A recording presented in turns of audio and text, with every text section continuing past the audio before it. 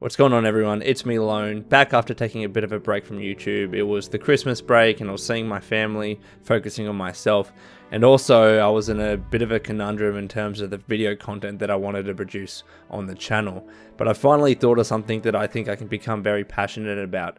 But before we get to that, I want to make one small change. So we've finally gotten a brand new camera for my YouTube channel. The difference in quality is absolutely night and day. It's an actual proper camera rather than my Logitech webcam. So I hope you appreciate the bump up in quality, but for now, let's get to the video. I've said for many years that Fallout 3 is my absolute favorite video game of all time. It's a big reason why I started this channel. It's a big reason why I got into Fallout games and Bethesda games and it's something that I keep coming back to. But I think the content on my channel over the years has had a distinct lack of Fallout 3, and it's funny being my favorite video game of all time that I never really covered it that much. But I do want to change that. I do want to go back to this game and explore it in much more detail, because even though I've played this game several times through, gotten all the achievements, there's always something new to discover. And I feel that I've never gone through the game in a structured way to try and find every single little thing that it does have to offer. So why not do that, but in a video series format? This is something that I've been tossing around in my head for probably years now, and I've never been able to fine tune the concept. And we've had some past attempts at it in the past, but I want to give it a fresh go now, see whether you like it, and if you do, I will try and continue this. So with all that out of the way, let's get to it. This is Fallout 3 Secrets Explored.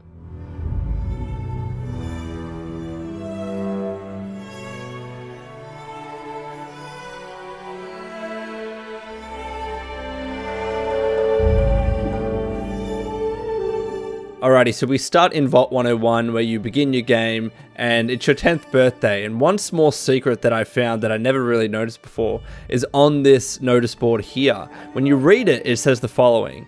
Wednesday is bingo night in the diner. First prize, a week's supply of water rations. And then it's got a bingo ball here with the number 13. And if you remember in the first Fallout game, Vault 13 is the vault that had an issue with its water supply because the water chip was broken. I thought that was pretty cool. Hmm. Snakes are cool, right? The vault snakes. What do you guys think? Thank you for coming, Miss Beatrice. Maybe. I hope you're having a nice time. So I don't know if you overheard that, but before we leave this room here, you can see Butch talking to Wally about what they should name their crew. And this is when they start thinking about attaching snakes to what becomes the tunnel snakes. I never stuck around this long to notice this conversation, but they thought Vault Snakes was a cool name, and they settled on Tunnel Snakes, I guess. Alrighty, so now we're in the Vault Overseer's office before leaving Vault 101. And while there may not necessarily be secrets on the terminal, there's still a bunch of interesting information that, if you take the time to read, is actually a little bit of fun. So um, if you go here to the scouting reports, you'll know that yes, people have left Vault 101 before to do some scouting to see what the outside area is like. And they went to Springvale and they also went to Megaton. In fact, if you read, read this report here, it's it says that they actually left two people in Megaton Megaton to report and to send back information to the vault. And funnily enough, the person that are, that is doing or heading these scout parties is Anne Palmer, who is the daughter of Mrs. Palmer, who gave you the sweet sweet roll um, when it was your 10th birthday, which is pretty cool. Um, and then some photos there of the um, photos that they took when they did the scouting party. And then if you go here, the Vault-Tec instructions, you actually see a letter from Dr. Stanislaus Braun, You'll know who he is, but we'll cover him in a bit more detail if we continue the series.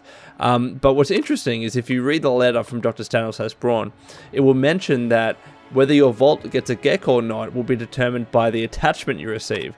And attachment A, you'll see that Vault 101 never received a GECK, and this is confirmation of that.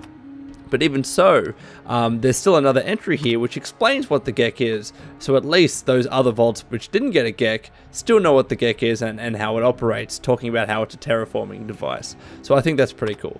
But let's continue anyway. And finally, we are outside of Vault 101, the opening that I think a lot of people love. I absolutely adore it where you get to go to the scenic overlook and see what the Capital Wasteland has to offer.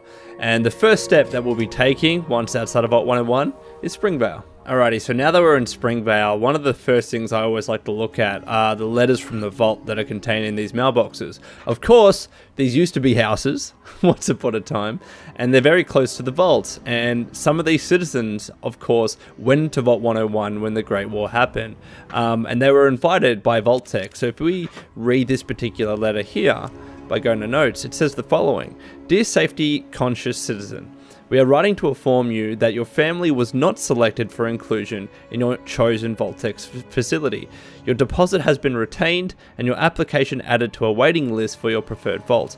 In the interest of your family's security in the event of a minor nuclear event, please consider relocating to one of these areas where Vault-Tec facilities are available without a waiting list. For a full list of Vault-Tec facilities with available accommodations in exciting locales such as Oklahoma and newly annexed Canada, contact your local Vault-Tec representative. Vault-Tec wishes you and your family the best of luck in the uncertain future. Best regards, Vault-Tec Public Relations Department in Washington, D.C.